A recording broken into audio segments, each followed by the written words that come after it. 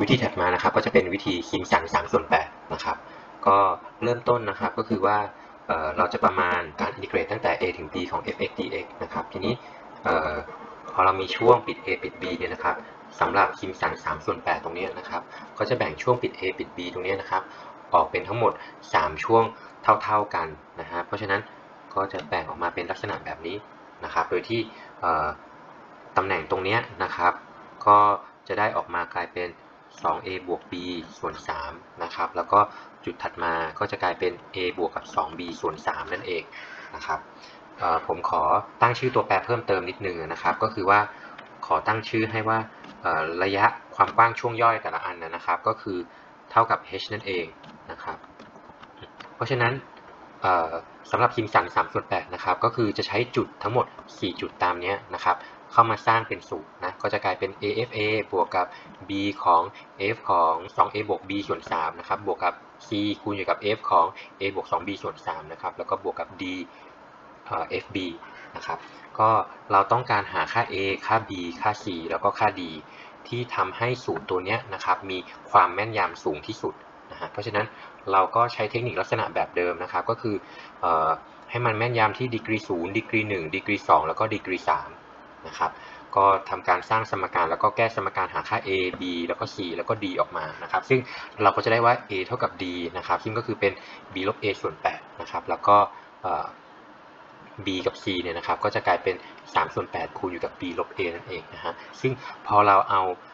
a b c d พวกนี้นะครับ ไปแทนค่าลงไปในสูตรพวกนี้ให้หมดนะฮะก็ทำการจัดรูปเราก็จะได้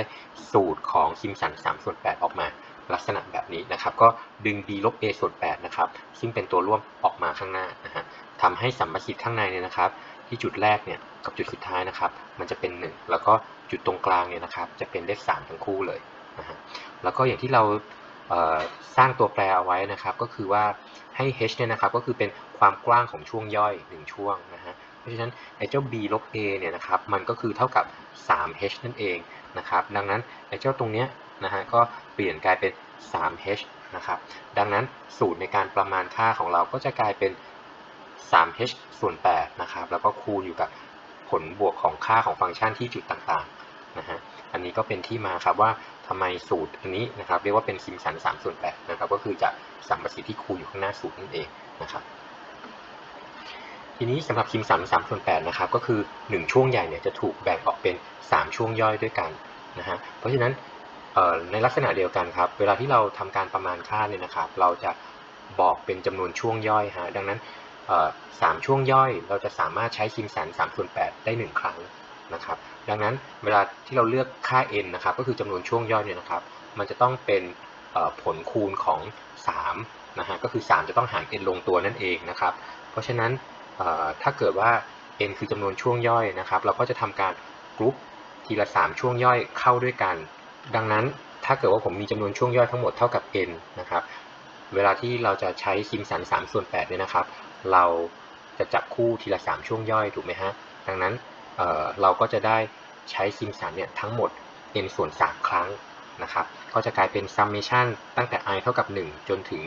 n ส่วน3นะฮะ เนื่องจากว่า n เนี่ยมันเป็นผลคูณของเลข3นะครับ คือ 3 หารลงตัวนะฮะ ดังนั้นเจ้าตัวนี้ก็จะกลายเป็นจำนวน เต็มตัวหนึ่งนะครับ ผมก็เขียนไอ้เจ้าตัวตรงนี้นะครับ เป็นการอินทิเกรตตั้งแต่ x 0จนถึง x 3บวกกับอินทิเกรตตั้งแต่ x 3จนถึง x 6บวกแบบนี้ไปเรื่อยๆนะครับ จนถึง x n ลบ3จนถึง x n แบบนี้นะครับ ก็จะได้กลายเป็น summation นะครับของการอินทิเกรตตั้งแต่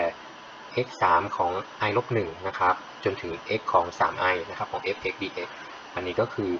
จับช่วงย่อย 3 ช่วงย่อยมัดรวมกันเอาไว้นะครับ เสร็จแล้วเราก็เลยใช้ซิมสัน3ส่วน8ครับทำการประมาณค่าการอินทิเกรตตัวตรงนี้นะฮะ เราก็เลย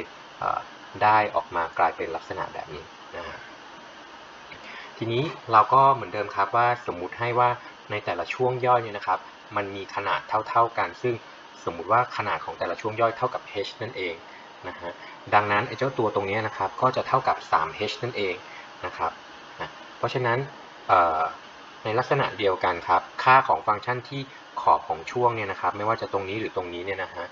พพอมันไปรวมกับขอบของอีกช่วงหนึ่งนะครับสัมประสิทธิ์ของมันเนี่ยนะครับ ก็กลายเป็น 2 เนื่องจากว่า3ส่วน8 h ตรงนี้นะครับ มันเป็นค่าคงที่เราก็เลยดึงออกมาข้างนอก summation ได้นะครับ เสร็จแล้วเราก็ทำการกระจายซิกมาเข้าไปนะครับ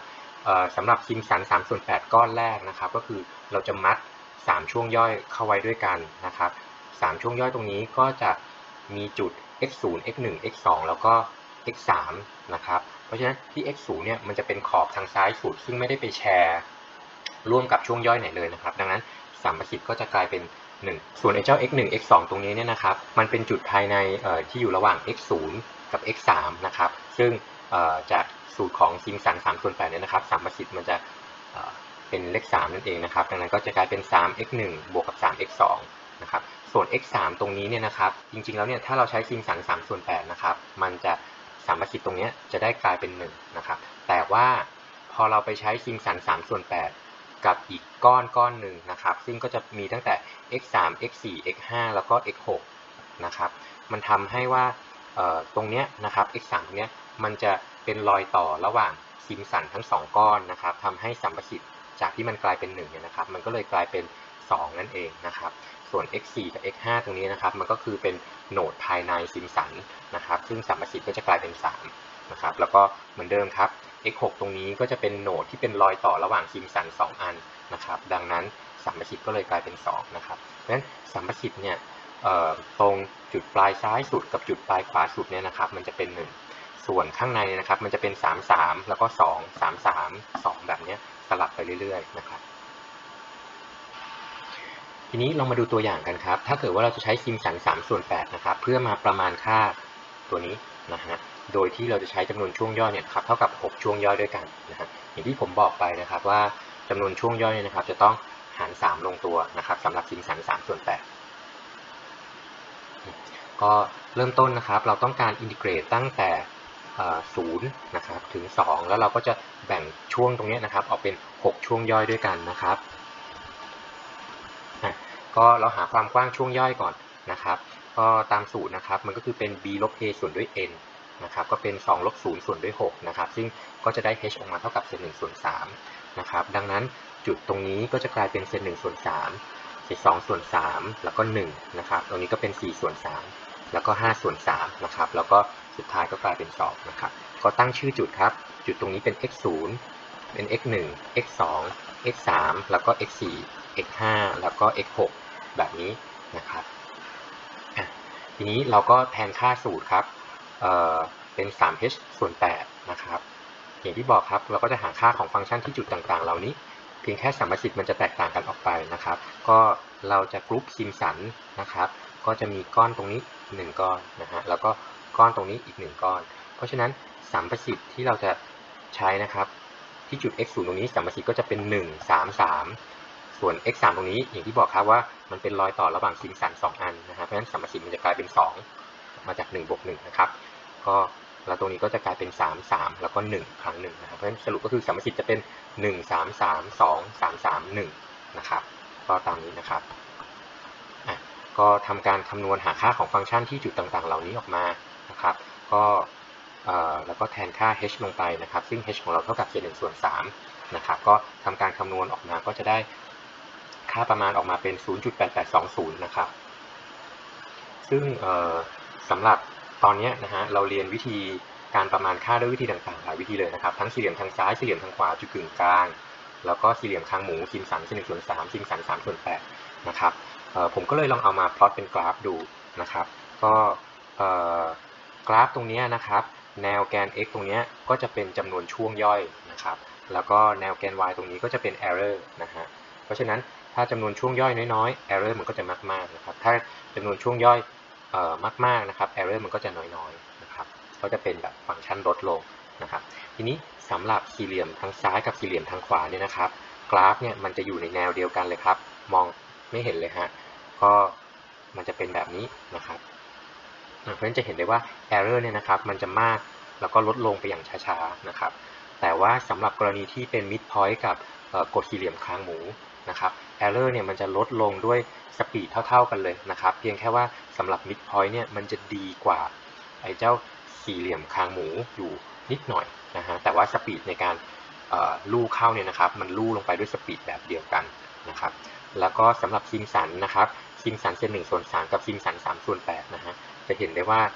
มันก็คือเส้นคู่นี้นั่นเองนะฮะเพราะฉะนั้นมันก็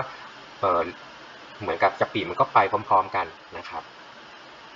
ทีนี้ถามว่าอันไหนดูดีกว่ากันก็ซิมสันเส้นหนึ่งส่วนสามกลับดีกว่านะครับเพราะว่าเอ error เนี่ยมันลดลงต่ำกว่า จริง ๆ ก็ถือว่าอยู่ในระดับเดียวกัน แต่ว่าตัว error เนี่ยนะครับของซิมสัน3ส่วน8เยอะกว่าซิมสันเส้นหนึ่งส่วน3อยู่นิดหน่อยนะฮะ